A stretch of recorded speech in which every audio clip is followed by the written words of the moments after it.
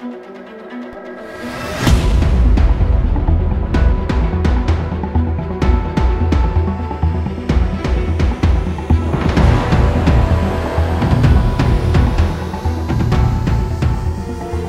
các bạn đến với câu chuyện Đạo mộ bút ký Tác giả Nam Phái Tam Thúc Chuyển ngữ Thủy Đạm Nguyệt, Quyển 1 Chương thứ 1 Huyết Thi Qua giọng đọc của Nguyễn Thành.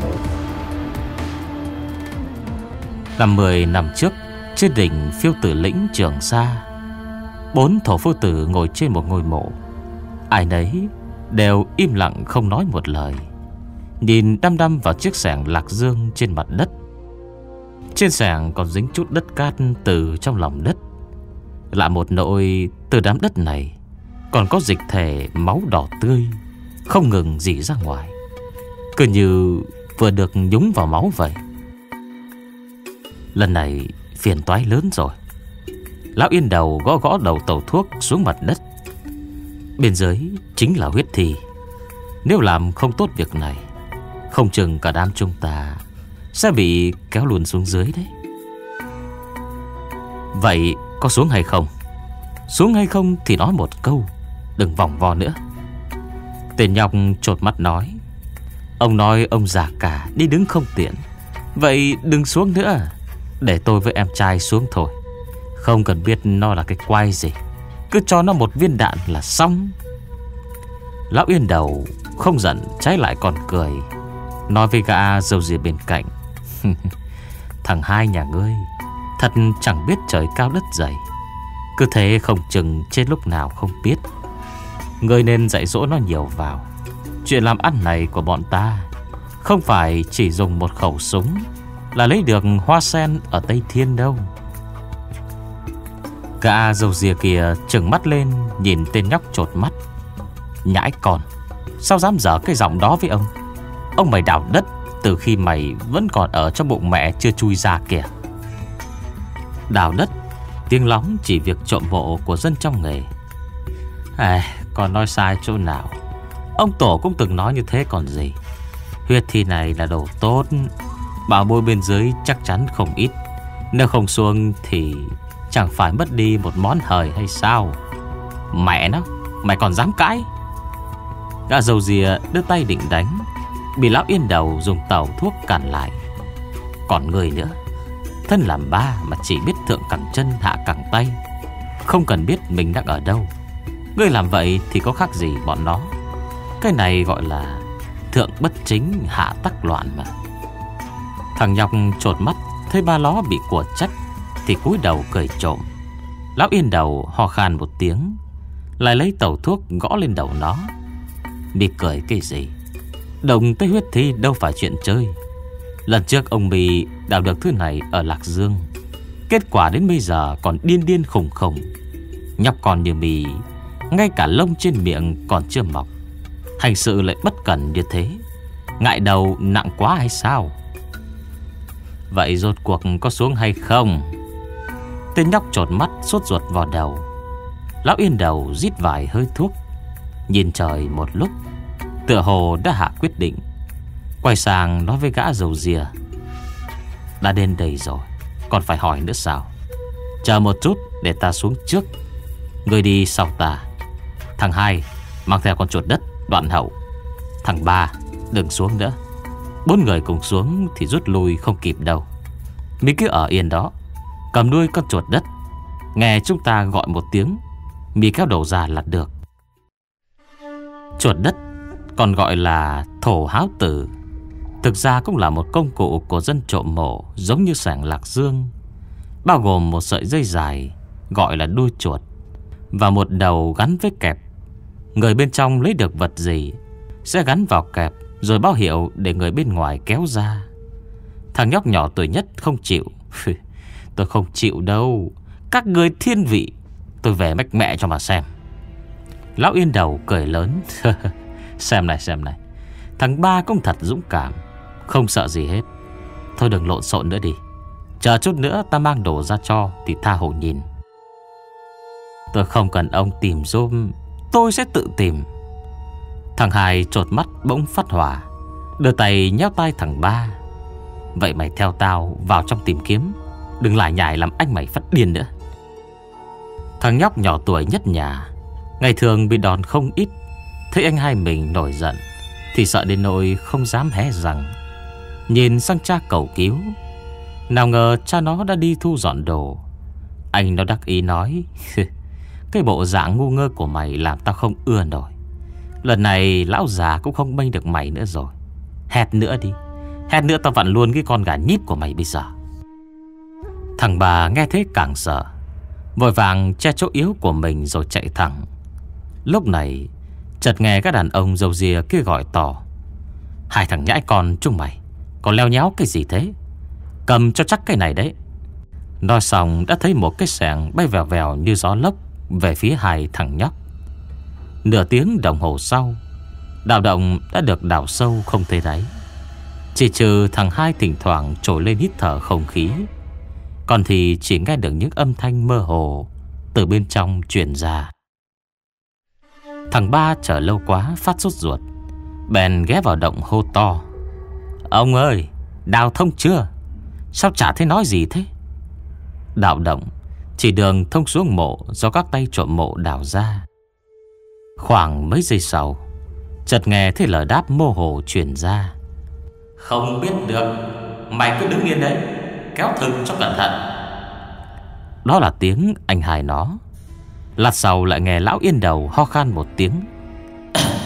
Khẽ khẽ thôi Nghe xem có động kìa Tiếp theo là sự tinh lặng đầy chết chóc Thằng bà biết chắc phía dưới có chuyện rồi. Sợ đến nỗi nói không lên lời. Đột nhiên, Nó nghe thấy tiếng từ trong động vọng ra. Một âm thanh giận tóc gáy. Kèn kẹt Kèn kẹt. Y hệt tiếng ếch nhái kia ngoài đồng.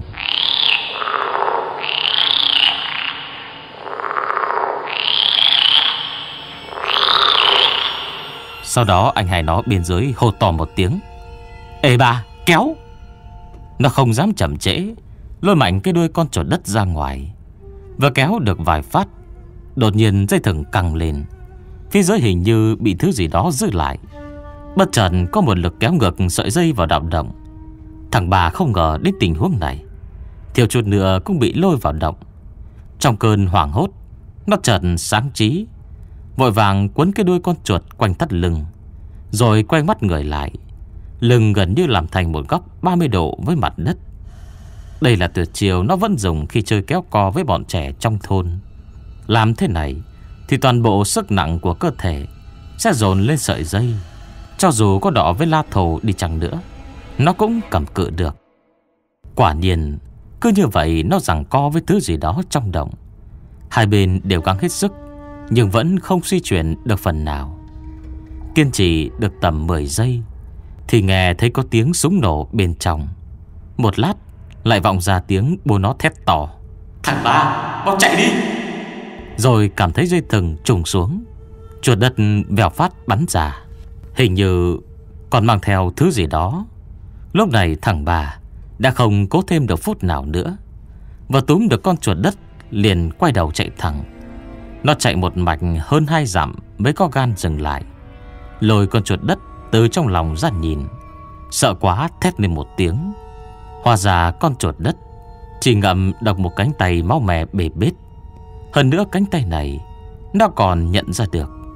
Rõ ràng là tay của anh Hải Xem ra anh nó nếu không chết Cũng thành tàn phế mất rồi.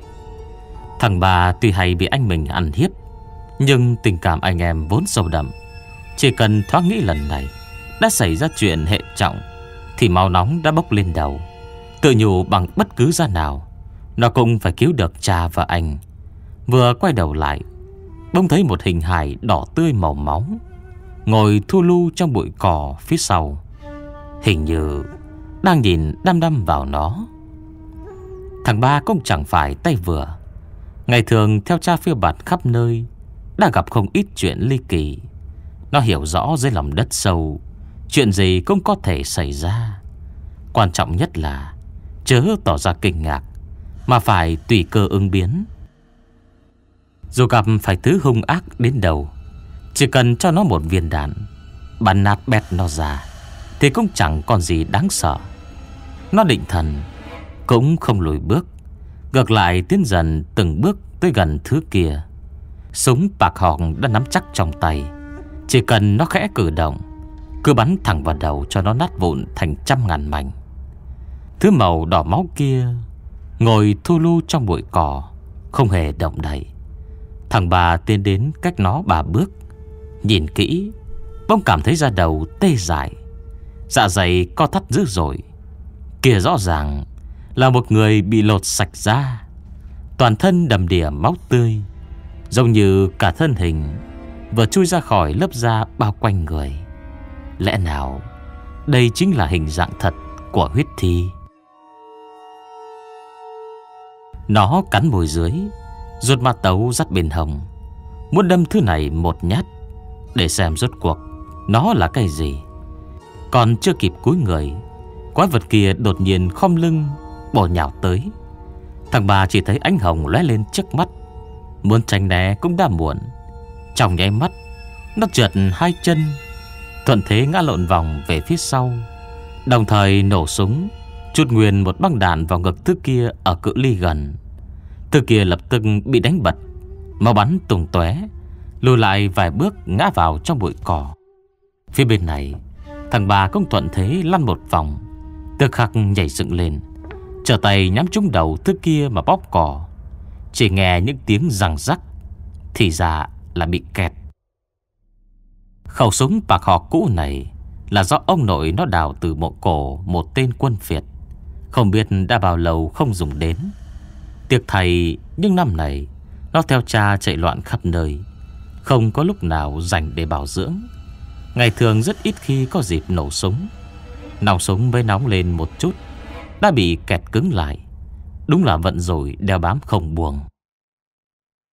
Thằng bà thấy cái thứ màu đỏ máu kia Dãy ruộng một hồi rồi trả mình đứng dậy. Trong lòng thầm rủa.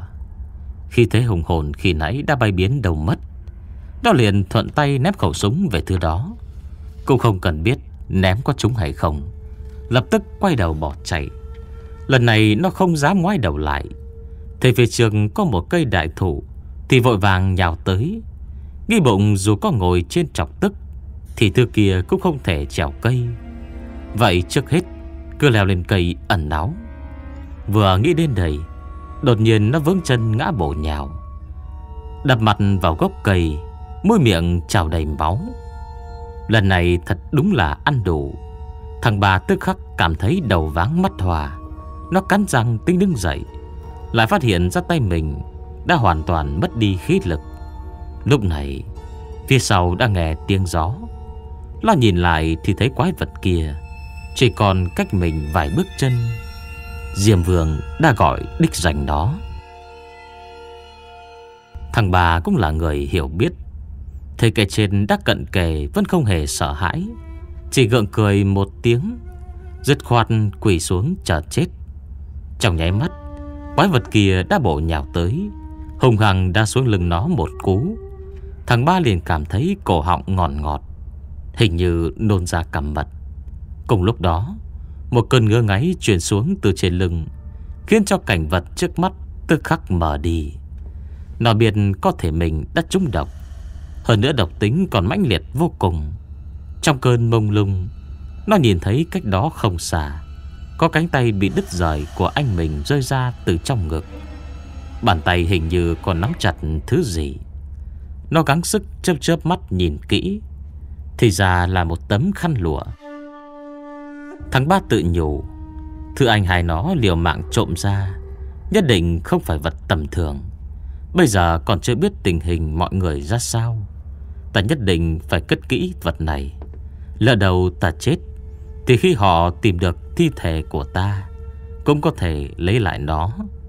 Có thế cánh tay anh hai bị đứt Mới không uổng, mà ta cũng không đến nỗi bỏ mạng vô ích.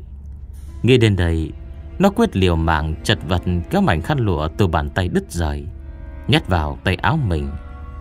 Lúc này hai tay nó Đã bắt đầu ong ong lên. Đôi mắt tự như bị một tầng sa che phủ. Tay chân lạnh dần đi. Chiếu theo kinh nghiệm lâu năm của nó, Thì hiện giờ đúng quần hẳn đã ướt đẫm. Người chúng phải độc trên thi thể, Đều chết rất khó coi. Chỉ mong đừng để hai con bé làng bên nhìn thấy cảnh này. Đầu óc quay cuồng trăm ngàn ý nghĩ. Tâm trí cũng bắt đầu không chịu sự khống chế của nó nữa. Bỗng nó loang thoáng nghe thấy tiếng cười kẹt kẹt quái dị. Nó từng nghe trong đạo động. Thằng bà mơ hồ cảm thấy có thứ gì đó khác thường. Thanh âm này hình như Không giống với thanh âm nghe được trong đạo động. Tiếc thầy lúc này, Nó đã không sao suy xét được nữa. Theo phản xạ tự nhiên, Nó ngẩng đầu lên nhìn. Chỉ thấy một gương mặt to bè quái dị, Đang cúi xuống nhìn mình. Hai hốc mặt không tròng trống rỗng, Không chút sức sống.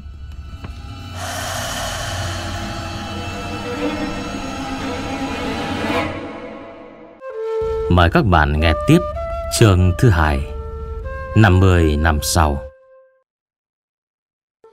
50 năm sau, Tòa nhà Tây Linh, đường Hà Phường, Hàng Châu Suy nghĩ của tôi bị lão già cắt đứt. Tôi khép lại bút ký của ông nội, Quan sát đối phương. Cho cậu có bản dập không? Gã hỏi tôi, Bộ dạng cổ quái, Dường như có ý đồ gì đấy đặc biệt mới đến. Tôi cũng không quan tâm đến việc buôn bán hiện giờ. Phần lớn giao dịch trong chợ đồ cổ Đều tiến hành lén lút cả. Mua bán công khai thì chỉ toàn những thứ lặt vặt, Không kiếm được bao nhiêu tiền. Vì vậy liền đáp lấy lệ, Nhận, Nhưng giá không cao. Ý là, Lão không có đồ tốt thì mau cút, Đừng làm phiền đại gia đọc sách. Vậy cậu có thể giới thiệu một chút về những món đồ cổ ở đây không? Tên kia hỏi, Bộ dạng nhàn nhã như đi dạo siêu thị. Tôi có chút sốt ruột, Làm nghề này muốn khai trương phải mất 3 năm. Thường ngày nhàn rỗi quen rồi. Ghét nhật phải hầu hạ mấy vị khách kiến thức nửa vời. Mấy thứ đồ cổ này, Mỗi cái để mang theo một câu chuyện riêng. Nếu phải kể lần lượt ra, Thì nói cả ngày vẫn chưa hết. Nếu vị khách nào cũng tới đây, Bảo bọn tôi giới thiệu, Thì thà dẹp tiệm mà mở quán trả luôn đi cho xong. Tôi sổ tay, Nói ở đây không phụ trách giới thiệu. Bên cạnh còn có nhiều hàng, Mời qua đó xem. Người nọ lại lấm nét nhìn tôi. Vẫn không chịu đi, Lại hỏi. Vậy cho tôi hỏi thăm một chút nha Ở đây có bản dập sách lụa thời chiến quốc không?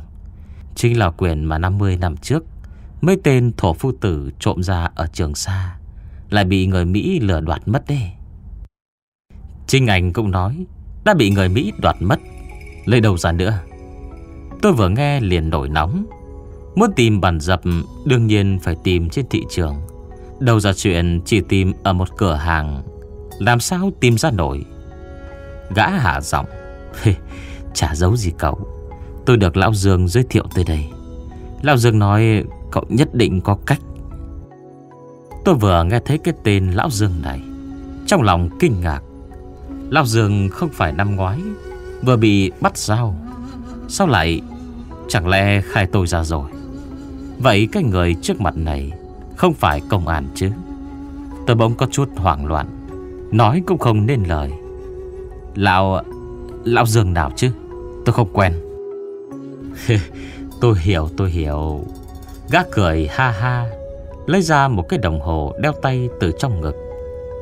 Cậu xem này, Lão Dương nói cậu nhìn thấy cái này Sẽ hiểu thôi. Chiếc đồng hồ đó là do mối tình đầu của Lão Dương Đưa cho Lão khi còn ở Đông Bắc. Lão coi cái đồng hồ này như tính mệnh. Uống say còn hay lấy nó ra. Vừa nhìn vừa kêu, Quyên à Lệ à. Tôi hỏi lão, con mẹ nó, Rốt cuộc lão muốn kêu cái gì? Lão nghĩ nghĩ nửa ngày, Rồi bỗng òa khóc, Nói, con mẹ nó ta quên rồi. Nếu Lão Dương Bì đã đưa chiếc đồng hồ cho người này, Nhất định gã cũng phải có chút địa vị. Nhưng tôi nhìn sao, Cũng chỉ thấy gương mặt người này Có vẻ gì đó xấu xa, Không giống loại người đứng đắn. Nhưng người do Lão Dương giới thiệu, Tôi cũng nên để mặt một chút. Huông chi người ta đã tìm đến cửa, Nếu nói cũng không để gã nói hết, Không chừng sẽ gây thủ trước oán. Tôi suy nghĩ một chút, Quyết định vẫn nên nói thẳng thì hơn, Liền khoát tay. Anh này Vậy coi như anh là bạn của Lão Dương. Tìm tôi có chuyện gì? Gã nhe răng cười, Lộ ra một cây răng vàng to tướng. Tôi có một anh bạn Mang một ít đồ từ Sơn Tây về. Muốn nhờ cậu xem hộ. Liệu có phải là đồ thật không? Tôi vừa nghe qua, Đại khái cũng hiểu một chút. Cái tên điều nhân chết tiệt này Không phải là trộm mộ sao? Chắc là tha ra được đồ gì tốt tốt Mà chưa thấy bao giờ. Muốn tìm người giám định Còn mẹ nó. Đúng là trong rừng, loại chim nào cũng có. Tên này lại còn dám xông vào cửa hàng đồ cổ chính quy. Bật quá dạng người này, Giống nhau ở điểm không cần mạng sống, Không đắc tội vẫn hơn. Tôi cố gắng nở nụ cười chuẩn mực của nghề kinh doanh, Nói với gã Nghe giọng của anh đặc sệt chất Bắc Kinh. Bắc Kinh rộng lớn, Anh lại lặn lội đến tận phía nam tìm tôi có việc gì. Thật đề cao tôi quá rồi. Bắc Kinh có bao nhiêu người giỏi? Chỉ sợ anh có ý khác thôi. Gã cười ha ha. Ai cũng nói người phương Nam khôn khéo. Quá không sai chút nào. Tuổi cậu nhìn cũng không cao. Vậy mà đã nhìn người rất chuẩn. Nói thật đấy Lần này tôi đến, Đúng là không phải tìm cậu. Tôi muốn gặp lão thay gia nhà cậu, Có được không? Trong lòng tôi bỗng chấn động mạnh, Sắc mặt cũng biến đổi. Chuyện về ông nội tôi rất kỳ lạ. Người biết ông rất ít. Giờ có người tới hỏi, Thì qua nửa là chuyện không hay. Liền lạnh lùng hỏi gã, Anh tìm ông nội tôi làm gì? Tên răng vàng kia nhìn sắc mặt tôi thoáng trở nên khó coi. Cũng hoảng sợ Vội vã phân trần. Ý, Không có ý gì Không có ý gì. Tôi chỉ là một người ham mê đồ cổ bình thường thôi. Chỉ muốn biết lão thái gia nhà cậu năm đó Sau khi lấy được quyển sách lụa thời chiến quân trên đỉnh phiêu tử lĩnh Trường Sa Có lưu lại một hai bản dập gì đó hay không? Chúng tôi muốn mua một quyển. Xem có giống quyển trên tay chúng tôi không? Gã còn chưa nói xong, Tôi đã quay qua tên trợ lý đang ngủ gà ngủ gật bên cạnh, Quát to. Vương Minh, tiến khách. Gã răng vàng vội vàng. Đừng nóng nha, Sao mới nói một chút đã vội đuổi người chứ? Tôi nói anh tới quá muộn rồi, Lão gia tử nhà tôi năm ngoái vừa mất. Nếu anh muốn tìm người, Quay về tìm một cái cây mà treo cổ May ra còn gặp được. Vừa nói vừa đẩy gã ra ngoài, Đuổi đến tận ngoài cửa. Gã răng vàng mặt dày mày dạn, Ôm chặt lấy cây cột ngoài cửa. Sông trên không chịu đi, Kêu to. Đừng nóng đừng nóng, Để tôi nói thêm một câu Một câu nữa thôi. Tôi túm nửa ngày, Vẫn không kéo nổi gã. Cũng chẳng còn cách nào khác, Mắng. Có chuyện gì thì nói mau. Đừng cản trở việc buôn bán của tôi. Tên nhóc nhà người Nói thế nào cũng không lọt tài được. Gã cười tà, Lao ra tử mất rồi Cũng không sao. Tôi cũng không bảo nhất định phải gặp mà. Dù gì cậu cũng nên nhìn qua thứ tôi mang đến chứ. Để mặt Lão Dương Bì một chút không được hay sao? Tôi nhìn gã một cái Các thuộc dạng người Cười nhưng trong lòng không cười. Cô tình bày ra cái bộ dạng vô lại bám dai như địa này. Quả nhiên đã thu hút được một đoàn du khách bên ngoài tới đây với kín. Nếu tiếp tục ẩm mỹ Chắc chắn tôi sẽ có tên trong báo ngày mai. Không thể làm gì khác hơn là gật đầu. Vậy cũng được, Anh vào trong đi. Chúng ta từ từ xem xét. Đừng có ở đây làm trò khỉ nữa. Nhưng tôi cũng cảnh báo trước. Có nhìn ra kết quả gì hay không? Tôi cũng không dám chắc đâu. Đã biên đã biên Tôi cũng là người trong nghề mà. Quy tắc này tôi hiểu mà. Kỳ thực sách lụa chiến quốc Có tất cả hơn 20 quyền. Không quyền nào giống quyền nào. Ông nội tôi trộm được chỉ là một phần nhỏ, Rất nhỏ trong số đó. Năm đó quả thực có một bản dập còn lưu giữ đến tận bây giờ. Là bảo bối được đặt dưới đáy hòm trong số gia tài của nhà tôi. Người ngoài dù có tiền cũng không mua được. Câu chuyện tôi bịa ra rất liền mạch. Gã này tuyệt đối Không thể phát hiện ra. Mấy người chúng tôi trở vào trong nhà. Tôi bảo Vương Minh rót cho gã chết dẫm này một chén trà Để gã lấy đồ ra.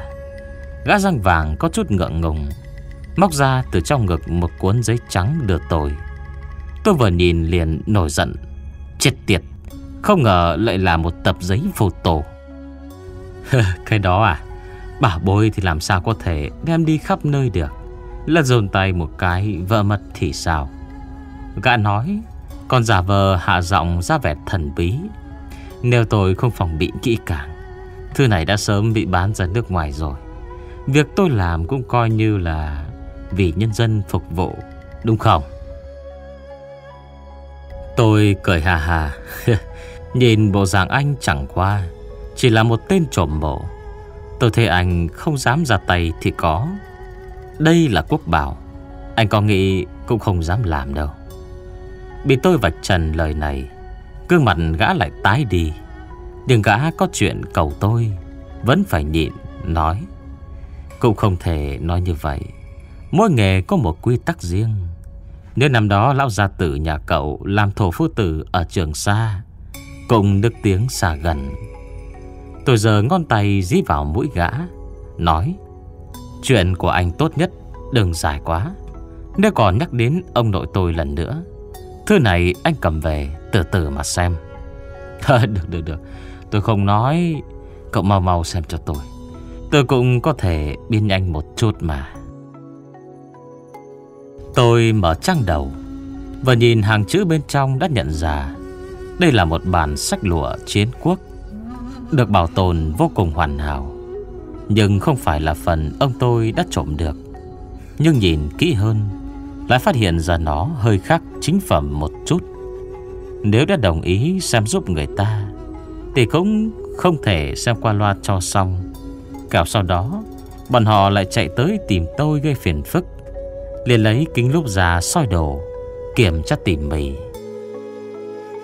Nhìn khoảng một nén hương, Tôi mới đưa ra được kết luận. Lắc đầu nói với gã răng vàng Đang nhìn tôi đầy mong đợi, Nói, Tùy theo các đường chỉ giấy trên bản photo, Có thể nhìn ra niên đại cũng khá lâu, Nhưng chắc là đồ dòm vài chiều sau đó thôi. Nói cách khác là đồ cổ giả lỗi thời. Đây là một trường hợp khó hiểu. Bản photo này của anh lại quá xấu. Tôi cũng không nhìn ra đặc điểm gì đặc biệt. Chỉ có thể đoán là thời Hán gì đó. Nói sao đây? Anh nói nó là giả. Cũng không phải giả. Nói là thật Cũng không phải thật. Chính là một vật như vậy. Ê, Có phải là Phần ông nội cậu trộm được không? Nói thật với anh. Phần ông tôi trộm được. Ông còn chưa kịp xem qua, Đã bị người Mỹ lừa lấy mất rồi. Chuyện này tôi thực sự không trả lời anh được. Tôi tỏ vẻ vô cùng thành khẩn thở dài. Thầm nghĩ, Nếu gã biết trong tay tôi có bản dập, Nhất định sẽ truyền ra ngoài, Rồi lại thêm nhiều người nữa tới tìm Thì chết giờ Không bằng phỉnh gã một chút, Để gã biến đi khỏi nơi khác Cho khuất tầm mắt. Gã răng vàng chăm chú nhìn tôi có vẻ tin thật thở dài. Hài, Thật là xui xẻo. Xem ra không tìm được người Mỹ kia thì thực sự không còn hy vọng gì rồi. Sao? Các anh có vẻ rất để ý đến quyền này. Tôi hỏi Cảm thấy chuyện này quá kỳ quái. Sách cổ được cất giấu Muốn có Đều phải xem duyên phận thế nào. Muốn tìm đủ trọn bộ sách cổ thời chiến quốc Hơn 20 quyển đây à? Thực sự quá tham lam. Người anh em, Không lừa cậu. Tôi thực sự không phải trộm mộ. Cậu xem thân thể của tôi toàn xương. Làm sao mà chịu nổi công việc ấy chứ? Nhưng bạn tôi thì đúng là dân trong nghề. Tôi cũng không biết hắn là đầu dây buôn bán gì. Nói chung, Người ta có cái lý của người ta. Tôi cũng không hỏi nhiều. Gác cười ha hà, Lắc đầu lại than thở vài cái à, Thôi được rồi. Nếu cậu đã nói vậy Tôi cũng hết hy vọng. Không làm phiền cậu em nữa. Tôi đi trước đây. Nói xong gã đứng dậy cúi chào tôi một cái. Sau đó bước đi không thèm quay đầu lại. Tôi thấy gã thất vọng tràn trề. Trong lòng cũng có chút không đành. Có điều làm nghề này Phải cẩn thận tuyệt đối. Chuyện của gã chẳng thấm vào đâu. Tôi không giúp được. Thì cùng lắm gã tốn thêm ít thời gian thôi. Tôi nghĩ một chút Cũng người ngoài. Bông tôi phát hiện ra gã Quên mang tập giấy photo kia đi. Có thể là vì Đã chịu cố sốc quá lớn. Tôi tiện tay cầm nó lên xem qua nội dung. Chẳng ngờ Lại phát hiện ra một hình vẽ khá thú vị. Đó là một gương mặt của người Giống hệt hồ ly, Với đôi mắt không trọng Cảm giác rất chân thực. Cứ như nổi lên trên tờ giấy, Khiến tôi không khỏi hít vài ngụm khí lạnh. Vừa rồi tôi chỉ để ý đến chuyện phán đoán niên đại của nó, Không xem kỹ nội dung. Hiện giờ xem ra, Đây cũng là một chân phẩm cực kỳ hiếm gặp.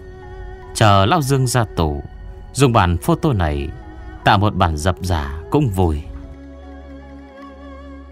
Tôi dùng máy ảnh kỹ thuật số vội vã chụp lại. Rồi đưa tập giấy cho Vương Minh Ở bên ngoài. Bảo nếu gã giang vàng kia trở lại, Liền trả cho gã. Nên cho gã nó tôi cố tình chiếm lợi. Ông nội tôi là thổ phu tử ở trường xa Chính là kẻ trộm mộ. Ông hành nghề này cũng không phải là chuyện lạ. Mà theo cách nói bây giờ, Chính là cha truyền con nối. Năm cụ tổ tôi tròn 13 tuổi Vùng Trung Hoa gặp nạn hạn hán. Thời ấy, Vừa có hạn hán liền xảy ra nạn đói. Dù bạn có tiền, Cũng không mua được đồ ăn. Khắp trường xa Chẳng có gì cả, Chỉ có cổ mộ là nhiều. Vì vậy, dựa vào núi non, Chỉ ăn được ba bữa. Dựa vào mộ, Còn khá hơn. Toàn bộ thôn dân đều thành trộm mộ. Năm đó không biết có bao nhiêu người chết đói. Chỉ có thôn họ, Chẳng có ai chết. Đều dùng đồ đào được Mà đổi lương thực với người nước ngoài. Sau một thời gian dài, Nó đã biến thành văn hóa tích lũy nhiều đời. Đến thế hệ ông nội tôi Đã thành luật lệ, Chia ra thành môn phái. Trong lịch sử, Trộm mộ phân ra làm hai phái Nam Bắc.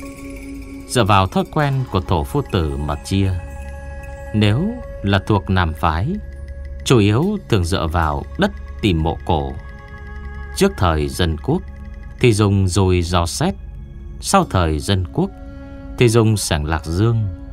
Cắm xuống một nhát Là có thể kết luận triều đại gần hay xa. Hiện giờ có rất nhiều tiểu thuyết Động một tí là miêu tả đến sảng lạc dương, Nhưng kỳ thực Bắc Phái không dùng nó. Bọn họ thiên về tính vị trí lăng mộ, Phán đoán chuẩn xác kết cấu, Cũng chính là cách người ta gọi là Tầm Long Điểm Huyệt. Nam Bắc Phái là hai đại phái do văn nhân mạc sĩ chia ra, Vốn không liên quan đến chuyện trên giang hồ.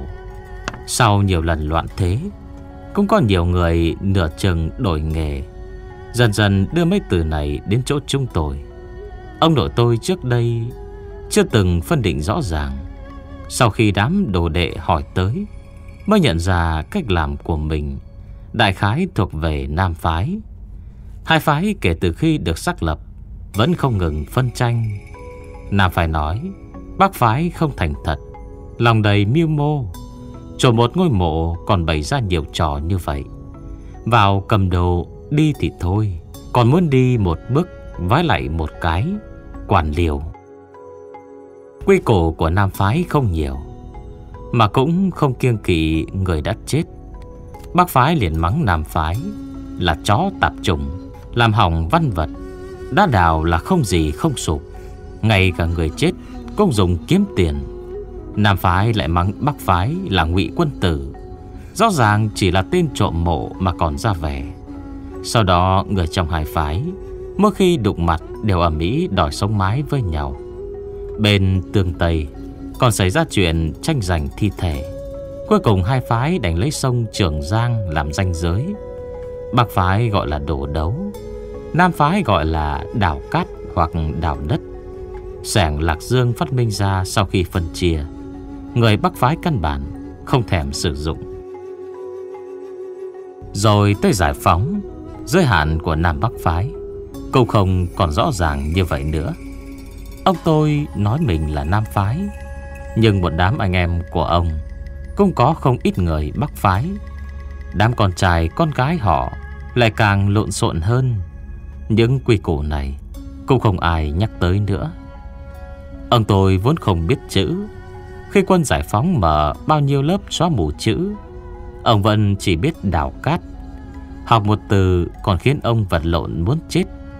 Cùng mày ông có chút văn hóa. Có thể viết lại một phần những chuyện mình từng trải qua. Thằng bà ở đỉnh phiêu tử lĩnh Trường Sa năm ấy Chính là ông nội tôi. Những chuyện này đều do ông ghi lại từng chữ từng chữ Trên quyền bút ký cũ kỹ của mình. Bà nội tôi là người làm công tác văn hóa, Vốn là một tiểu thư khuê các, Nhưng lại bị những chuyện này của ông hấp dẫn. Cuối cùng, ông tôi tới Hàng Châu ở rể. Ăn già tại đây. Quyển bút ký đó trở thành bảo bối gia truyền của nhà tôi. Mũi của ông sau chuyện đó Đã không còn tinh nhạy nữa. Về sau ông huấn luyện một con chó chuyên người đất, Nên được người ta đặt hiệu cầu vương. Đây là chuyện có thật. Giả những người trước đây từng làm thổ phu tử ở Trường Sa Đều biết đến cái tên này. Về phần ông tôi sau đó làm sao sống được? Ông bác, cụ và cụ kỵ của tôi cuối cùng thế nào? Ông mãi vẫn không chịu nói ra. Trong ký ức thời thơ ấu Tôi chưa từng gặp một ông bác Chỉ có một mắt Còn cụt một tay. Không chừng thật sự là lành ít giữ nhiều. Nhắc tới chuyện này Ông chỉ thở dài Nói Đó không phải là chuyện con nít nên nghe. Bất luận chúng tôi có hỏi thế nào, Làm nũng thế nào, Ông cũng không chịu tiết lộ nửa chữ. Cuối cùng khi chúng tôi dần dần lớn lên, Cũng từ từ mất đi lòng hiếu kỳ thời thơ ấu. Lùng chạng vàng đóng cửa hàng hôm đó, Tôi nhận được một tin nhắn Mở ra xem, Là tin chú ba gửi. Chú ba tôi là người duy nhất trong nhà, Đến đời này còn làm việc trộm mộ. Ngài nói trước kia chú từng hoàn lương một thời gian. Sau đó tính cách lại không hợp với lãnh đạo, Liền tự mình mở tiệm buôn bán đồ cổ. Bình thường chú ba hay khoác lắc chú xuất đạo sớm Hơn bất cứ ai. Mới 6 tuổi đã tự làm một mình 10 tuổi đã nổi danh khắp tám phái. Quả thực có thể gọi là Trời sinh đạo mộ tặc. Có điều tên đạo mộ tặc này Hiện giờ đã cải tà quy chính. Mặc kệ sự đời rồi. Theo mấy tên thủ hạ của chú nói, Mấy năm trước chú thỉnh thoảng còn tự mình xuống mộ chọn đồ linh tinh. Nhưng vài năm gần đây, Nhàn hạ đâm ra quyết tâm đổi nghề. Xem ra tuổi tác lớn rồi, Không chịu cũng không được. Tôi mở tin nhắn của chú ba ra, Cười nghĩ chú muốn gọi tôi đi ăn.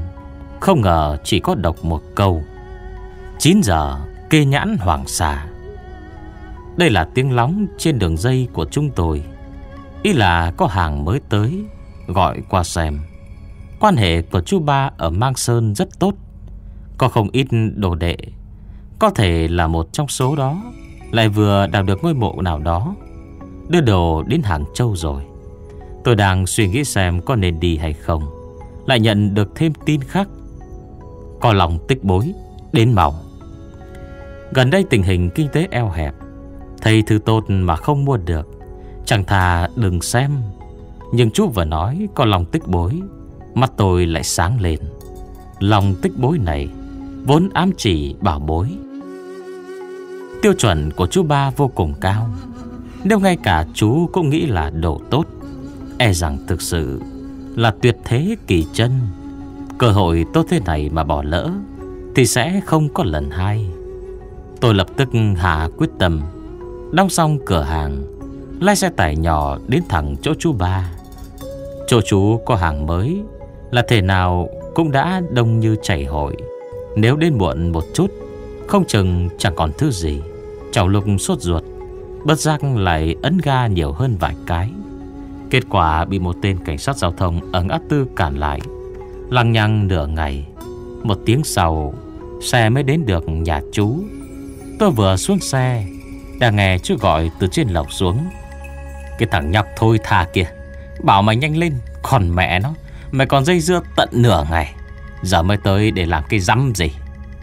Trong lòng tôi vốn đã chán nản. Vừa nghe chú nói, liền biết đồ chắc chắn đã được bán rồi. Đáp lại một tiếng Không phải chứ chú bà Đồ tốt cũng phải dành cháu với chứ. Chú bán cũng nhanh qua đây. Thì còn mẹ nó Mày còn biết là đồ tốt. Ta thấy còn không nhanh chân lên. Người đầu tiên ông báo tin cho là mày đấy. Tôi than một tiếng, Cũng không buồn giải thích nữa. Lúc này, Một gã thanh niên còn khá trẻ, Bước ra từ cửa chính nhà chú. Trên lưng đeo một cái hộp gỗ thật dài. Bên ngoài dùng vải cuốn kín mít, Chỉ lộ ra một cái đỉnh. Tôi biết đó là hộp kiếm, Dùng để đặt bảo đao bảo kiếm gì đó. Chỉ riêng cái hộp này Cũng đáng giá rồi. Nếu bên trong còn có kiếm, Nhất định là giá trên trời. Tôi đoán đó chính là Long tích bối, Đưa tay chỉ chỉ món đồ trên lưng thanh niên kia. Chú ba gần gật đầu, Có vẻ bất đắc dĩ. Tôi mất hứng, Tính đường quay về Thì chú ba lại bảo tôi chờ một chút. Nói trên lầu, Còn có nhiều người đang xem đồ Trong bảo khố của chú. Muốn tôi giúp đếm tiền. Tôi nghĩ tôi này Mình cũng không có việc gì. Liền theo lên góp vui Làm xong mọi chuyện, Lại uống thêm nửa chén rượu ngũ lương. Vừa cùng chú uống, Vừa kể lại chuyện gã răng vàng Tới chỗ tôi dò hỏi hôm nay. Tôi chỉ định kể cho vui. Không ngờ chú vừa nghe, liền hừ một tiếng. Răng vàng tới từ Bắc Kinh à? Đây thực sự là nhảy cầu tự sát Mà không phải chết vì sông, Là đụng vào cầu mà chết à. Tôi nghe thế, Đoán chừng chú ba cũng biết họ, liền hỏi là chuyện gì. Chú bà đam dạo này, Chưa nghe nói mới xuất hiện một đám trộm Rất hung hăng ngạo mạn. Có một tên Bắc Kinh răng vàng, Chuyên phụ trách thủ tiêu hàng cho bọn chúng. Gần đây hình như chúng đào được mộ huyệt ở Sơn Tây. Xem ra cũng vớ được không ít bảo bối. Tôi thoáng nghĩ quyển sách lụa đó Có thể trộm được từ ngôi mộ ở Sơn Tây. Mới lôi mấy ảnh kỹ thuật số Có cái dấu kia ra cho chú xem. Mặt chú ba vốn đỏ bừng, Có lẽ đã gần say, Nhưng vừa nhìn quyển sách kia, Sắc mặt đột nhiên biến đổi. Sao thế? Tôi hỏi. Thứ này có gì kỳ quặc sao? Chú nhíu mày, nói. Bảo cái thằng nhóc mi Bình thường theo ta học hỏi nhiều vào. Mi không thèm nghe. Thứ này ấy, Người sáng suốt vừa nhìn đã nhận ra. Nó là một bản đồ. Trường thứ ba Miếu hạt dừa. Tôi nhìn bản sao cuốn sách lụa đầy chữ Lại nhìn sang chú ba. Không hiểu chú đang nói gì. Lẽ nào chú đã siêu phàm đến mức có thể Nhìn chữ thành tranh rồi sao? Thường ngày chỉ thấy chú là một tay bậm nhậu, Khoái cờ bạc rượu trẻ Ăn chơi chắc tán. Người như thế Thì lấy đâu ra tiền căn cơ chứ? Chú bà vừa mắng tôi, Vừa lấy kính lão ra xem. Nói cái này Là bát trận thư đồ. Tranh chữ Còn gọi là tàng họa văn. Chính là cách dùng ngữ pháp đặc biệt. Kể lại vị trí địa lý mà viết. Nhìn thoáng qua Thì tưởng nó chỉ là một đống chữ vô nghĩa. Thực ra tin tức bên trong Vô cùng phong phú, Là loại mật mã Dùng cho việc hành binh tác chiến thời cổ đại. Tôi nói chú chẳng biết nhiều chữ, Làm sao có bản lĩnh hiểu được mấy thứ này. Chú lại nói đây không phải là kiến thức, Mà là kinh nghiệm. Tôi nghe xong liền bật cười. Cái tính bừa bãi vô lối của chú ba Giống với ông nội tôi nhất. Khả năng bà Hòa cũng thế. Không chừng cái bát trận thư đồ gì đó Chú chỉ nghe mấy ông bạn nói qua. Còn chú hiểu được bao nhiêu Thì vẫn chỉ là nghi vấn. Chú ba nhìn chằm chằm nó một hồi, lẩm bẩm. Mấy tên rất chừng đổi nghề Xem ra vận khí rất tốt. Mấy món đồ kiểu này trước đây Chú mày chưa từng gặp. Lần này lại để mày chiếm lợi rồi. Tôi hỏi chú, Bản đồ này vẽ nơi nào vậy? Chú ba cau mày nhìn nó hồi lâu, Mới nói ra mấy từ khiến tôi chấn động. Hình như Còn mẹ nó Là một ngôi mộ. Sách lụa chiến quốc Cũng không phải là tác phẩm chuyên ngành, Mà giống nhật ký hay cảm tưởng Được ghi lại bằng bút ký. Năm đó tôi từng đọc qua vài đoạn. Nội dung rất lộn xộn. Tuy có giá trị cao trong việc khảo chứng cuộc sống sinh hoạt của con người thời đó, Có điều tôi không làm nghề khảo cổ, Nên cũng không hứng thú gì với chúng. Nhưng bây giờ thì khác. Tôi vội vã hỏi lại xem, Chú có nhận ra là mộ của ai không? Chú bà lắc đầu, Nói, Hiện giờ chú không thể hiểu hết hoàn toàn. Nhưng đây chắc chắn là mộ của một quý tộc nước lỗ Thời chiến quốc. Xem này, Nó được người ta dùng tranh chữ Ghi lại trên sách lụa. Chứng tỏ địa vị của tay này Cũng khá cao. Hơn nữa ngôi mộ này Còn chứa đựng nhiều bí mật, Kể cũng khá thú vị, Đang cho chúng ta đi một chuyến đấy. Tôi vừa nghe đến mộ lớn thời chiến quốc Tìm cũng bắt giác đập mạnh. Đường Tống Nguyên Minh Thanh, Mộ thời nào cũng có bảo bối. Nhưng những thứ bảo bối ấy Cùng lắm chỉ có thể nói là khéo léo tinh tế. Nhưng mộ cổ hoàng tộc thời chiến quốc, Niên đại lại vô cùng lớn. Anh vĩnh viễn không đoán ra nổi, Trong đó có gì? Không chừng còn có thể Tìm được vài món bảo bối thời thượng cổ. Loại cám dỗ này Không phải có tiền là dễ dàng gạt bỏ được. Với kẻ trộm mộ, Lại càng hấp dẫn hơn. Nhưng tôi lại nghĩ, Dù sao cũng không có cơ hội đi. Phân khích cũng vô dụng. Nhà tôi gia giáo rất nghiêm. Ba muốn thế hệ chúng tôi Có thể hoàn toàn thoát khỏi nghiệp này. Vì thế tôi và hai anh em Vì thế tôi và hai thằng em họ Không hề biết đến nghề đào đất. Ngay cả sẻng lạc dương Cũng là hàng cấm. Hồi bé còn có lần Tôi chỉ cầm cán sẻng xuyên cá trong sông Thế mà bị bà đánh suýt chết.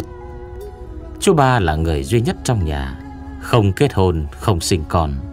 Tính cách lại càng phóng khoáng. Chú trước giờ vẫn không hài lòng với cách làm của cha tôi. Giờ lại thấy bộ dạng này của tôi Liền lắc đầu. Chú bảo này Mày cũng thật thả qua đấy. Ba không cho mày đi. Thì mày không dám đi luôn à?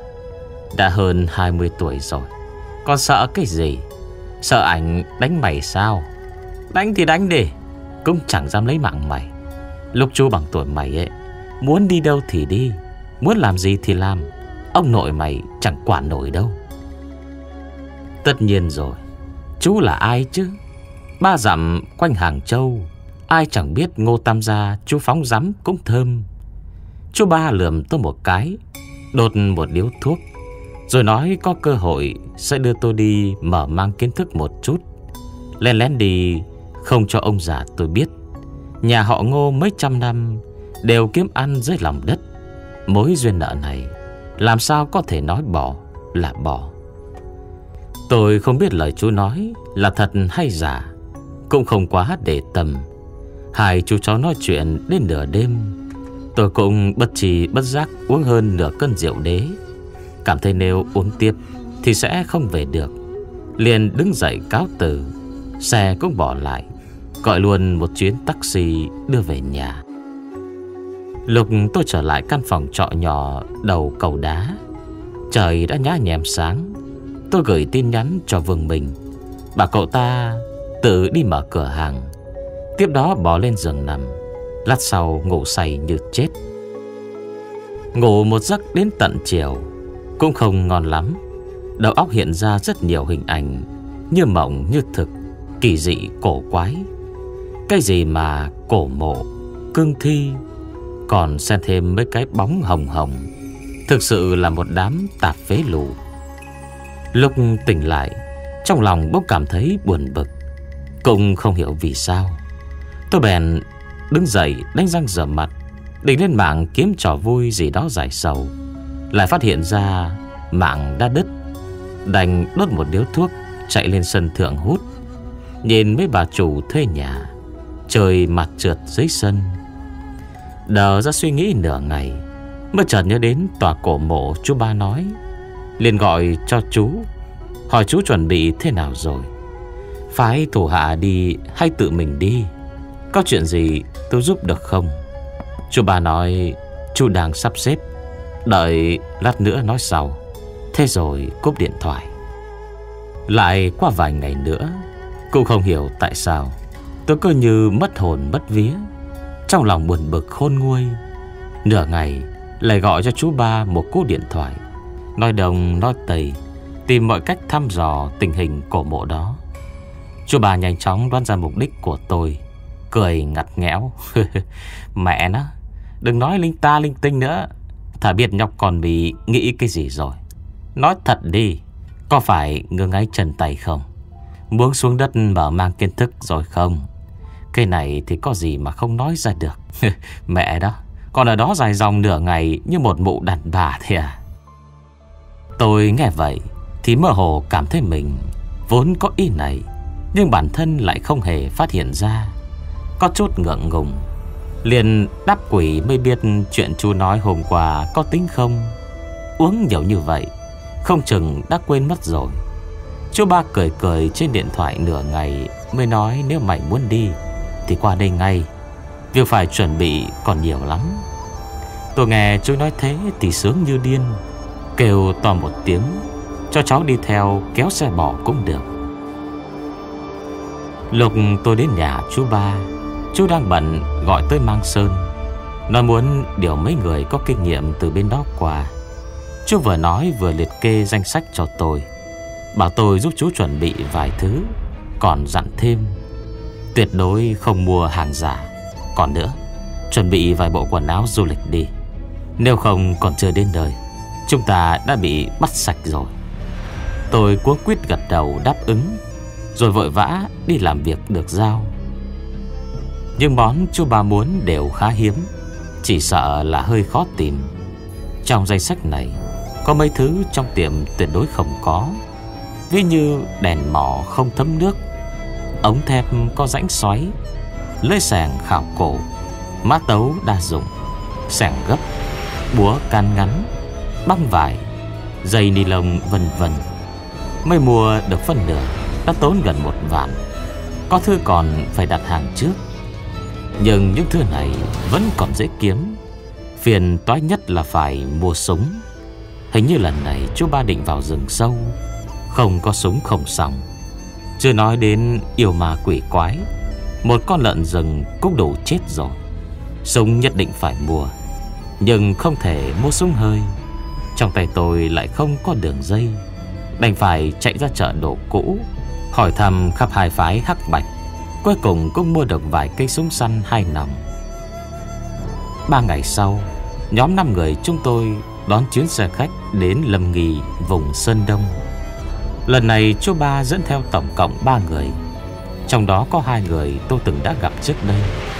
Họ đều là người trò chuyện cởi mở, tính tình phóng khoáng, Người thứ ba Chính là tên đeo kiếm sau lưng Tôi gặp dưới nhà chú ba không biết có quan hệ gì với chú. Cũng đi cùng luôn. Có điều cái thằng cha này Vô cùng đáng ghét. Bộ dạng hệt như cái thằng con ghẻ. Tiếng Trung Quốc gọi là muộn du bình. Cả quãng đường dài Chẳng buồn mở miệng lấy một lần. Chỉ ngẩng đầu nhìn trời đăm đăm, Cứ như lo trời sắp sập xuống không bằng. Ban đầu tôi còn thử trò chuyện với hắn mấy câu, Sau cũng lười để ý đến hắn. Cuối cùng ngay cả tên cũng không biết. Ô tô chạy như bay trên đường cao tốc, Cả quãng đường dài rằng rặc, Chúng tôi đều giết thời gian bằng cách ngủ say xưa Mơ mơ màng màng. Sau 12 tiếng sóc này trên xe, Chúng tôi cũng đến được Lâm Nghi. Thời cổ đại, Lâm Nghi thuộc địa phận nước lỗ. Nơi này là miền đồi núi, Nằm ở sườn nam núi Thái Sơn. Theo so sánh của chú ba Về phạm vi địa hình của nước Tề Và nước Lỗ Cổ. Mục tiêu chủ yếu xác định trong hai tòa núi Mông Sơn Thuộc vùng Nghi Mông, Lâm Nghi. Vì thiếu tư liệu Chúng tôi cũng không biết nơi đó Vốn thuộc nước lỗ hay nước tề. Đành đi tới đâu biết tới đó. Núi Mông Sơn ngày trước Gọi là Đông Mông Đông Mông Đông Sơn. Đứng sừng sững ở huyện Bình Ấp, Tỉnh Sơn Đông. Nằm về phía tây bắc của Lâm Nghi, Sơn Đông. Là một nhánh của dãy núi Thái Nghi. Vượt qua thành phố Lâm Nghi, Trải dài tới bốn huyện Bình Ấp. Mông Âm, Phí và Nghi Nam Chạy dọc theo hướng Tây Bắc, Đông Nam, Dài hơn 70 km Có mấy nơi đã phát triển du lịch khá hoàn thiện. Chúng tôi mua một ít bản đồ du lịch Đối chiếu với bản đồ trong tay thì không khớp. Nơi chúng tôi muốn tới E rằng phải ẩn sâu dưới ngọn núi lớn. Tôi tìm mấy hướng dẫn viên người địa phương, Hỏi họ mấy địa danh cổ trên bản đồ, Nhưng cũng không thu được kết quả gì. Vùng này đã trải qua biết bao trận chiến. Có rất nhiều làng bị thiêu rụi sạch thời kháng Nhật. Muốn tìm kiếm nghiên cứu lại, Phải nói vô cùng khó khăn. Năm người chúng tôi không còn cách nào khác. Đánh đi lòng vòng một hồi, Rồi quyết định tiến vào trong núi đã Chúng tôi đón chuyến xe buýt cả tàng của địa phương Tới một chỗ cách miếu hạt dừa Hơn 40 km về phía tây. Sau đó đổi xe công nông đi vào đường nhỏ. Cuối cùng ngồi xe bò, Vòng lên đường mòn trên bản sơn. Lục xuống xe, Chúng tôi mới phát hiện ra Bốn phía xung quanh Ngoại trừ đồi núi trải dài ngút tầm mắt, Thì không còn tìm thấy bất cứ thứ gì hiện đại nữa. Cho rằng đã tới nơi, Chúng tôi liền nhảy xuống xe. Lúc này, Phía trước bỗng có một con chó chạy tới. Chú ba tôi vừa nhìn thấy, Lập tức phá ra cười. Vô vô vài Ông lão đánh xe nói đùa. Ông bác à Hành trình tiếp theo là cưỡi con chó này hay sao? Sợ nó không cõng nổi chúng tôi đâu. Hey, làm sao mà cưỡi chó được? Ông lão cười to. Còn cho này ấy Chỉ tới báo tin thôi. Đoạn đường cuối cùng xe nào cũng không đi được. Phải lên thuyền hết. Con chó này tôi phải đi để gọi thuyền qua đây đó. Nói rồi Lão đánh xe bò xuống sườn dốc bên cạnh. Chúng tôi cũng vội vội vàng vàng đi theo. Đồi núi ở đây cao hơn ở phương Nam nhiều. Hơn nữa quanh nằm không có ai ra vào, Nên rừng cây vô cùng rậm rạp. Dưới đất còn phủ một tầng lá mục rất dày, Bùn cũng đen xì. Đạp một bước xuống, Không chừng còn ngập tới đầu gối. Chúng tôi chặt vài cành cây làm gậy trống, Vừa đi vừa dò đường, Vô cùng cẩn thận. Lục vào đến sơn cốc, Trước mặt hiện ra một dòng suối trong xanh. Rộng khoảng 5-6 thân thuyền. Nhìn xuống không nhận ra được đáy nồng hay sâu. Hai bên bờ suối, Trừ chỗ chúng tôi đang đứng, Có một khối đá bằng phẳng. Còn những nơi khác Đều là vách đá cao chót vót. Phía trên có tán cây dày đặc, Che khuất cả mặt trời và phần lớn tia sáng, Khiến không khí xung quanh giảm xuống vài độ. Chú ba dựa vào con xe bò, Hỏi ông lão kia. Hề con chó này còn biết bơi? Hờ, bơi khỏe lắm Bơi khỏe lắm. Ông lão ngồi trên xe Dùng ông tàu gõ gõ lên đầu con chó. Lư đàn đàn Bơi thử cho họ xem. Con chó này hình như hiểu được tiếng người. Ẳng một tiếng nhảy xuống sông Phành phành bơi một vòng Rồi bò lên bờ lắc lắc người Nằm sầm trên mặt đất Lẻ lưỡi thở. Chúng tôi thấy vậy đều phát ra cười. Ông lão kia nhìn nhìn trời một chút, Rồi nói với chúng tôi, Bây giờ còn sớm quá, Cái tên chèo thuyền kia Chắc chắn còn chưa làm việc. Chúng ta cứ nghỉ một chút, Hụt đưa thuốc đã nha Tôi nhìn đồng hồ 2 giờ chiều còn chưa làm việc. Tên chèo thuyền kia của ông rốt cuộc Làm khi nào, Nghỉ khi nào vậy? Ở đây bọn tôi Chỉ có một mình hắn chèo thuyền. Hắn lợi hại lắm đệ Dậy lúc nào thì làm việc lúc đó. Đôi khi cả ngày không làm, Khiến người ta tức chết luôn. Ông lão cười cười, Biết làm sao được. Tám thôn mười dặm quanh đây, Chỉ có mình hắn lái thuyền. Hắn muốn làm gì tùy ý, Thôn trưởng cũng chẳng quản được hắn đâu. Về các ông còn không mở họp đại biểu nhân dân, Bắt hắn nghỉ việc, Đổi người khác chăm chỉ hơn đi. Chú ba hỏi lão. Hey, bọn tôi cũng muốn lắm Nhưng các cậu đều là người từ ngoài tới. Có chuyện này không biết. Sơn thần ở đây Chỉ nề mặt mình hắn thôi. Người khác chỉ cần đi vào sân động một đoạn Là chắc chắn không ra được. Cho nên chỉ có thể đi cùng hắn Cũng không biết tại sao nữa. À Phía trước còn phải qua một sơn động. Chú ba kinh ngạc, Lập tức giả bản đồ ra, Nhìn qua một lượt Chợt bừng tỉnh. Không, Phải nói là Hà động mới đúng. Ông vừa nói gì nhỉ? Cái động trong núi này Có thể ăn thịt người sao? Ông lão cười ha hà. Đó là chuyện vài đời trước truyền lại rồi. Tôi chẳng còn nhớ rõ nữa, Mà cũng không biết có thật hay không. Chúng tôi nghe thế, Lập tức liên tưởng tới cổ mộ kia, liền bảo ông ta kể rõ ràng. Ông Lao thấy chúng tôi thích nghe, Cũng can đảm hơn một chút Rột một điếu thuốc, Rồi bắt đầu câu chuyện. Thì ra, Từ khi thôn này còn chưa xuất hiện, Sơn động đã có rồi. Đáng tiếc không ai biết động này, Hai đầu thông nhau, Mà bên trong còn lắm chuyện kỳ quái. Người ta đi vào chẳng bao giờ thấy ra. Cứ thế lâu dần, Người trong thôn đều nói động này. Có xà tinh Cắm một cái cọc ngầm dưới nước, Không cho thuyền đi vào. Cho đến một ngày Bông có người chèo một chiếc thuyền nhỏ, Từ trong động ra xuất hiện Ở gần thôn. Nói là người bán hàng rong Từ bên ngoài tới. Trường thôn không tin. Nói hắn là xả tinh biến thân, Định đánh chết hắn. May mà khi đó, Có mấy nàng dâu vốn là người thôn bên.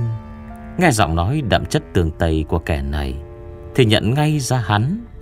Nói hắn thực sự là người bán hàng rong. Hàng năm đều qua thôn bên cạnh. Chỗ son phân này Đều do hắn buôn từ bên ngoài vào. Mấy ông trưởng họ liền sai vài người nhanh nhẹn chạy qua thôn bên hỏi. Quả nhiên như thế, Mới thả hắn ra. Từ đó trở đi cái động này, Hình như đã nhận hắn. Chỉ có người nhà tên lái thuyền đó Mới ra vào được.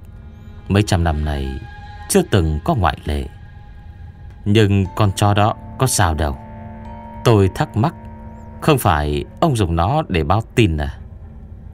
Hay cái đó thì lão chịu. Chuyện đã truyền qua mấy đời rồi. Ai mà biết có thật không? Ông lão gõ gõ tẩu thuốc lên mặt đất. Bọn tôi rất ít khi đi đường sông, Mà thường lần theo con đường mòn trên đỉnh núi hơn. Có điều đồ đạc của các cậu quá nhiều, Leo núi không tiện. Và lại mấy năm này, Ngọn núi này cũng không mấy khi yên ổn. Thỉnh thoảng lại có vài tảng đá sụp xuống Lỡ giật trúng đầu là chết chắc đấy. Chúng ta không cần mạo hiểm, Chỉ chờ thêm một chút thôi mà. Tôi nhìn lên Phát hiện ra thế núi ở đây cao chót vót, Trùng trùng điệp điệp. Ngoài chúng tôi già, Không thấy một ai. Cũng chẳng biết lời lão nói Là thật hay giả. Chú bà nghe ông lão kia nói Đến nhập thần, Bèn suy nghĩ một chút Rồi vỗ vỗ tay. Lư đàn đạn, Qua đây. Chú chó này đúng là rất biết nghe lời, Vội vàng chạy qua. Chú ba vừa ôm lấy nó, Người mặt liền đổi sắc. Còn bà nó, Cái mùi này.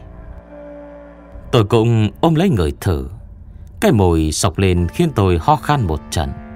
Chủ con chó này Cũng lời quá thể Không biết đã bao lâu Chưa tắm cho nó. Một trợ thủ của chú tên Phan Tử cười hà hà Cậu phải học hỏi chú ba cậu nhiều, Vẫn còn non lắm. Còn chó chết tiệt, Sao thối vậy? Tôi bực tức mắng. Phan tử, Chú cũng qua đây ngửi thử xem. Chú ba vẫy vẫy tay. Tôi, Thôi đi. Phan tử nói Tôi ghét nhất cái mùi hôi thối của chó. Người một tí nữa luồn ọe Thì mất mặt lắm. Đừng dài dòng nữa, Mau qua đây. Mùi trên người con chó này Lạ lắm. Phan tử hết cách, Đành phải bước qua. Tôm lấy con chó đưa lên mũi người người một chút. Mặt cũng đổi sắc. Đây Đây là mùi thi thể thối mà. Không thể nào. Tôi sợ đến mức lông tơ dựng ngược lên. Ngay cả thằng nhóc Vẫn im lặng nãy giờ Cũng biến sắc. Chú bà đốt một điếu thuốc Cao mày nhìn con chó kia, Nói với chúng tôi, Mang cả nó đi theo đi. Chỉ e sơn động phía trước Là một cái động xác. Mọi người cứ chuẩn bị tinh thần. Một trợ thủ khác của chú ba dáng vẻ cao to. Bọn tôi gọi hắn là A Khuê.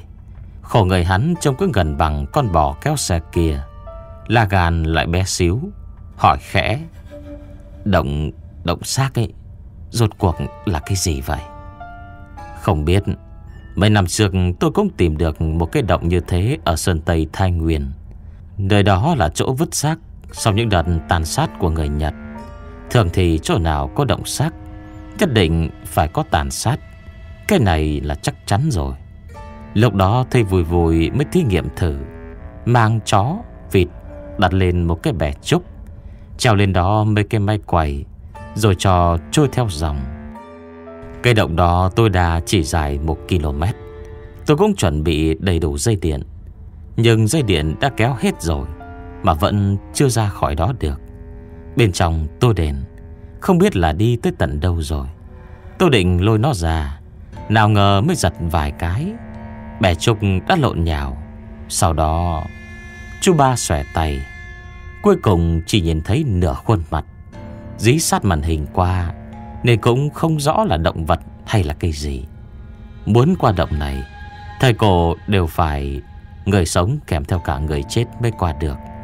Nếu vật sống đi vào một mình thì chỉ có vào Mà không có ra.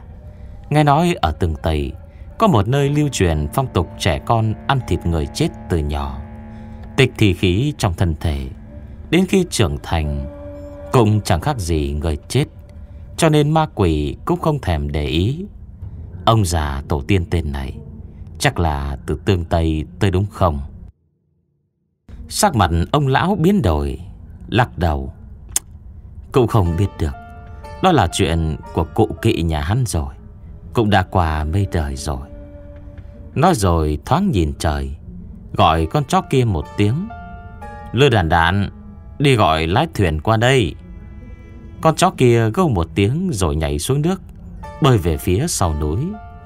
Lúc này, tôi bỗng thấy chú bà Nhảy mặt với Phan Tử một cái. Phan Tử len lén lấy một cái ba lô ra Từ đống hành lý, Đeo lên lưng. Cậu thanh niên ngồi bên từ nãy giờ kia Cũng đứng dậy, Cầm theo gói của mình. Sau đó Phan Tử vòng qua phía sau tôi, Thì thào bằng tiếng Hàng Châu. Ông già này có vấn đề, Cẩn thận. Mời các bạn nghe tiếp chương thứ tư, Động xác Mấy người đồng hành của chú ba Đều là dạng thông thạo chuyện giang hồ, Nên tôi cực kỳ tin tưởng họ. Phan Tử vừa dứt lời, Tôi lập tức hiểu ý. Cũng lấy hành lý cá nhân Rồi đeo lên lưng, Tránh cho đồ đạc để trên xe bò, Bị người ta cũa mất. Trên đường đi tới đây, Tôi đã gặp không ít chuyện lừa đảo, Còn như học hỏi thêm chút ít kiến thức Và vài biện pháp đề phòng cơ bản. A Khuê cũng để mắt đến tôi, Bảo tôi chú ý bám theo, Cẩn thận cả bị lạc. Tôi thấy sắc mặt hai người kia Đều có vẻ khó coi. Cũng không rõ ông lão này Có gì bất thường. Bông rừng cảm thấy hồi hộp. Đúng lúc này, Lư đàn đàn bị bõm bơi trở về. Ông lão liền rút tàu thuốc, Đập đập lên ống quần. Đi thôi, Thuyền tới rồi. Tôi nhìn qua, Quả nhiên có một con thuyền đáy bằng Bơi ra từ phía sau núi. Thuyền bằng xi măng Phía sau còn buộc thêm một cái bè. Đầu thuyền có một gã trung niên Trông giống người dân tộc đang đứng. Tôi nhìn qua một lượt, Chỉ thấy kẻ này Trông rất bình thường. Giá có lẫn trong đám đông Thì cũng không nhận ra nổi. Nhưng có lẽ là do tôi tác động tâm lý, Nên vừa nghĩ tới câu chuyện Ăn thịt người chết mà chú bà nói. Tôi bỗng cảm thấy người này Trông khá kỳ quái, Có nét gì đó xảo trá. Người đó quay về phía chúng tôi hô to một tiếng. Cặp thuyền sát vào vách núi gần đó. Ông Lao vô vỗ cổ con bò, Rồi bảo chúng tôi lên thuyền. Đống hành lý của chúng tôi Đều chất hết lên thuyền. Còn con bò cùng với cỗ xe Thì cho lên cái bè kéo đằng sau. Chúng tôi mang rất nhiều đồ, Nên lúc này Không có chỗ mà ngồi, Đành ngồi ghé vào mép thuyền. Chú bà ngã giá xong Lên kêu người kia lái thuyền. Người trung niên đó chèo thuyền cũng thật nhanh. Trong chốc lát, Thuyền đã bơi ra giữa dòng. Chúng tôi xuôi theo lạch nước, Đi vòng qua một ngọn núi. Bông có một luồng gió lạnh thổi tới. Phía trước mặt đột nhiên hiện ra Một khoảng không thoáng đãng. Từ đây đến sơn động kia Còn một đoạn nữa. Quang đường này phong cảnh như tranh. Hai bên là vách đá dựng đứng, Núi non trùng điệp. Quả là đẹp không sao tả xiết. Tôi suýt xoa tán thưởng, Không quên lấy máy ảnh kỹ thuật số. Tạch tạch tạch liên hồi, Chụp được rất nhiều ảnh. Theo từng nhịp trèo của người lái thuyền, Chúng tôi cứ chậm chậm trôi theo dòng nước. Lạch nước chảy dưới đáy hang không thuận theo mạch núi, Quanh co khúc khỉu Mỗi khi chúng tôi nghĩ đã tới điểm tận cùng của con lạch, Thì người kia lại quay đầu thuyền. Trước mặt lập tức hiện ra Một phong cảnh mới. Chúng tôi đi rất lâu trong mạch sông ngoằn ngoèo này. Đến khi tôi rút ra điếu thuốc bát hỷ thứ ba, Thì gã mới chống xào cho thuyền dừng lại, Nói với chúng tôi, Chờ một chút thôi. Lát nữa chúng ta phải qua một thủy động. Khi vào trong động các vị nhất định phải hạ giọng xuống. Không được nhìn vào trong nước. Đặc biệt, không được nói xấu Sơn Thần. Chúng tôi nhìn nhau, Không biết phải làm gì. Phan Tử dùng giọng Hàng Châu hỏi chú bà, Làm sao đây? Chúng ta có nên nghe lời gã không? Chú bà nghĩ ngợi một chút, Rồi cũng dùng giọng Hàng Châu mà trả lời Dạ cũng không rõ hai người này có vấn đề gì không. Nơi đây quanh co khúc khỉu Còn hiểm ác hơn dự liệu của chúng ta gấp bội. Chúng ta hãy tạm nghe lời gã. Chuyện tới đâu, tính tới đó. Trước hết, cứ để gã dẫn đường đi. Chúng tôi nghe vậy đều khẽ gật đầu. Trên đường tới đây, Tôi đã nghe dân bản địa nói Nhiều về chuyện giết người cướp của xảy ra trong vùng núi này. Họ kể người bên ngoài bị lừa vào trong những nơi kín đáo. Cướp đoạt tiền của. Sau đấy giết sạch không để ai sống sót. Thi thể bị vùi ngay tại chỗ. Có là thần linh cũng không tìm ra nổi. Nhưng đó đều là những chuyện xảy ra Trước ngày giải phóng. Không biết đến giờ Có còn nữa hay không. Phan Tử từng là quân nhân Nên rất bình tĩnh. Tay đã lập tức đặt lên chuôi dao Đeo trên thắt lưng. Liếc mắt ra hiệu cho tôi. Tôi cũng giữ thật chặt bà lô, Đề phòng gặp chuyện bất ngờ. Đồ đạc lại rơi xuống nước. Đến đây thuyền lại rẽ ngoặt, Vẽ ra một đường cong sấp xỉ 180 độ, Lách qua mỏm đá phía đầu thuyền. Sơn động đã hiện ra trước mắt. Vừa rồi trong lúc chuyện phiếm, Chúng tôi còn tưởng tượng ra cái động đá vôi cao rộng. Nào ngờ vừa thấy, Đã không khỏi kêu lên một tiếng không ổn. Động này thực sự không thể gọi là sơn động. Gọi bằng lỗ nẻ Cũng đã quá lắm rồi. Bề rộng chỉ nhìn hơn thân thuyền chừng 10 phân. Nhưng chiều cao của nó còn kinh khủng hơn. Nếu ngồi ngay ngắn trên thuyền Thì không thể vào được. Phải cúi thấp người, Gác ngượng lắm mới có thể chui lọt. Có cầu chuột lớn không chui hốc hẹp. Trong không gian chật trội thế này nếu có người bên trong muốn ám toán, Thì chúng tôi thực sự không thể chống đỡ. Phan tử khẽ rủa mấy cầu Má nó, Động gì mà như cái hàng chuột thế này? Trong số những thắng cảnh của vùng núi Nghi Mông, Có một khe núi ngầm Rất nổi tiếng nằm sâu dưới mặt đất. Cửa vào của nó Rất giống chỗ này. Tôi chắc mầm đây cũng là một khe nứt đặc trưng Của địa hình núi đá vôi vào trong sẽ thấy vô vàn thành nhũ Trúc ngược xuống. Nào ngờ vào rồi Mới biết thực sự khác xa tưởng tượng. Hang động này Đoạn gần lối và còn sáng sủa. Nhưng qua một khúc ngoặt, Lập tức trở nên tối đen như mực. Phan Tử bật đèn bò Chiếu thẳng về phía trước. Chỉ thấy bốn bề vách động Trơn bóng ẩm ướt, Toát ra một màu xanh lục kỳ quái. Cứ như phủ lên một tầng rêu xanh. A Khuê ngẩng đầu, Hít một hơi khí lạnh. Lão bà, Hang động này không đơn giản đâu.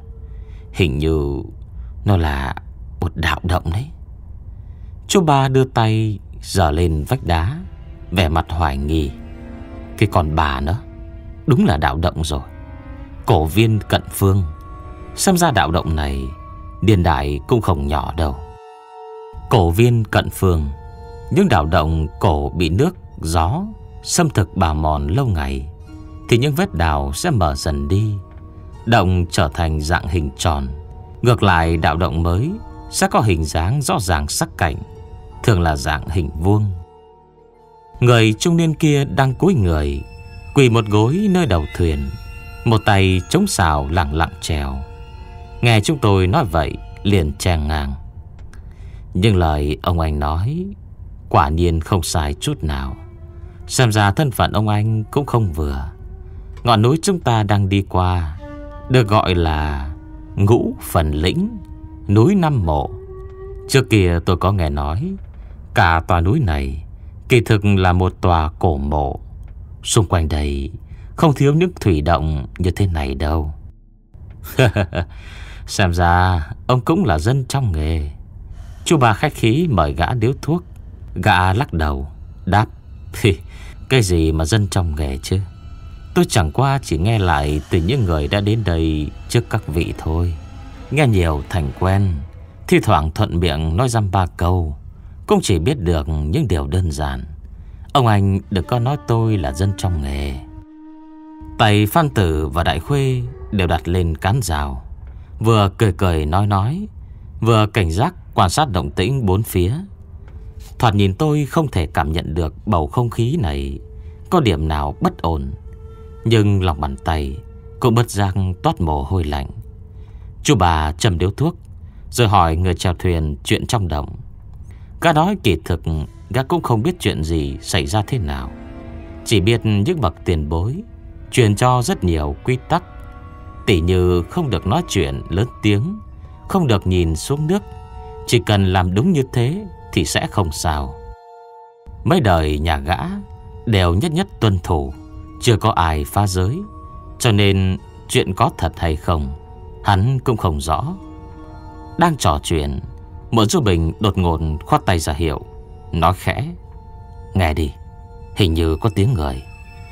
Chúng tôi bị động tác đột ngột này của hắn dọa cho giật mình, Lập tức nín thở. Quả nhiên nghe được tiếng thì thào từ sâu trong động truyền ra.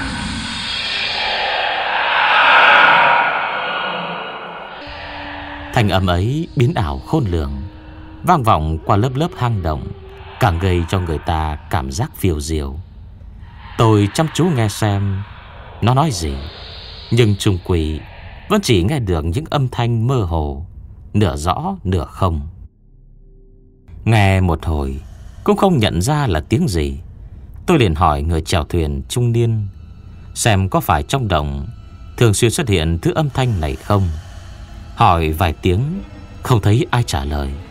Tôi quay đầu nhìn về phía đầu thuyền, Thì đã không thấy bóng dáng người chèo thuyền đầu Tôi không nén nổi kinh ngạc, Kêu lên một tiếng, Nhưng vừa quay đầu lại.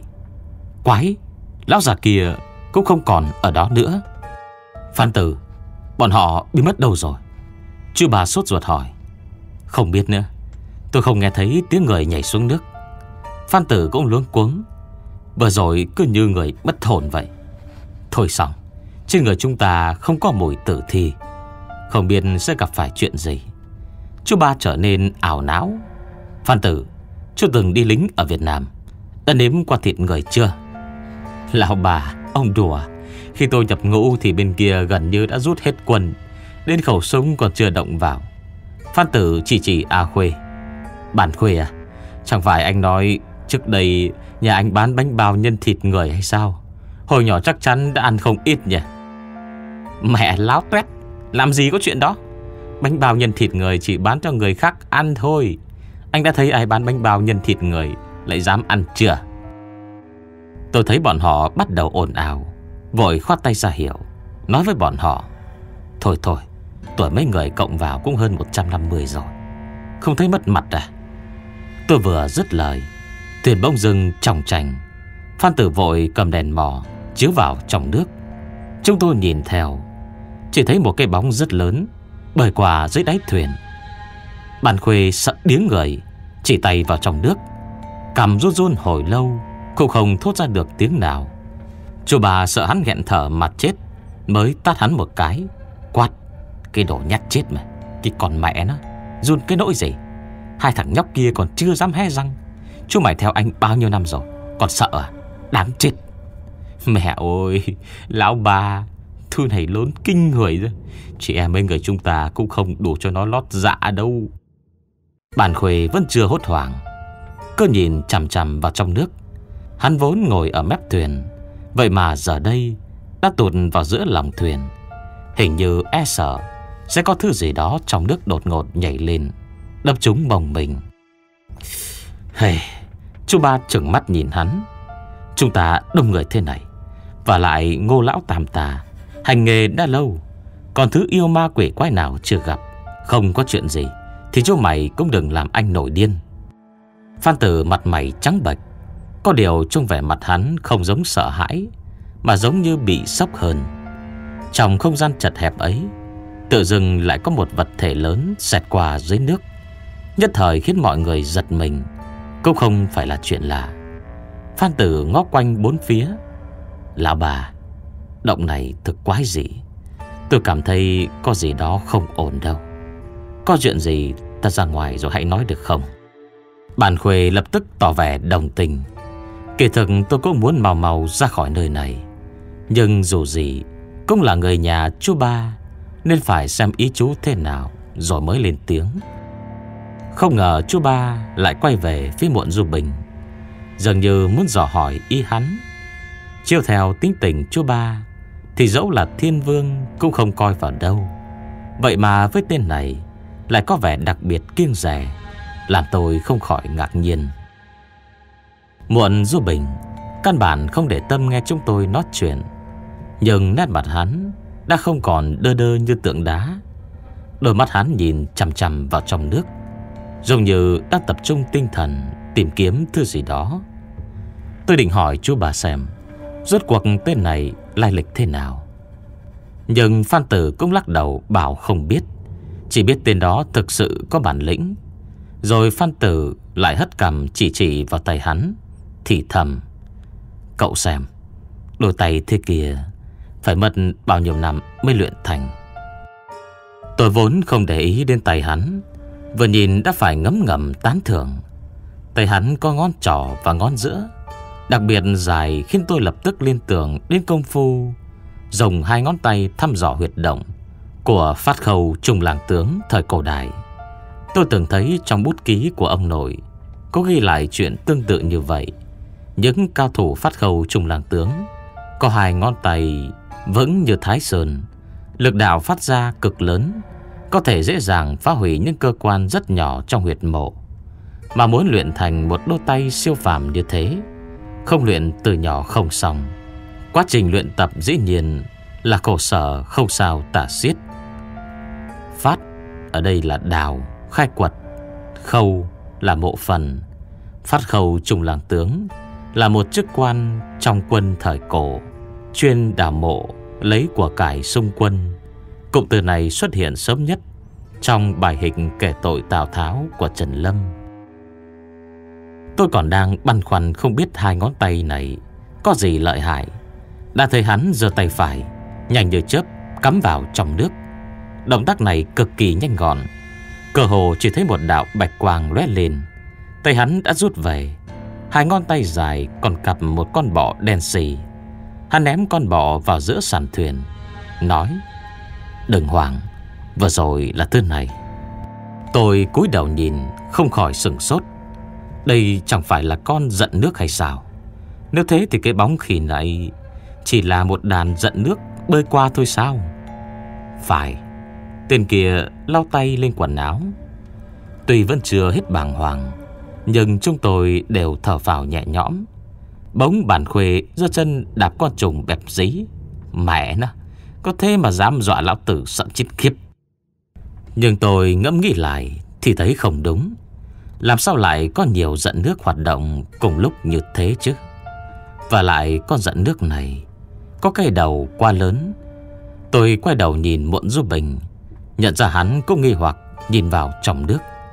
Không biết đang nghĩ gì.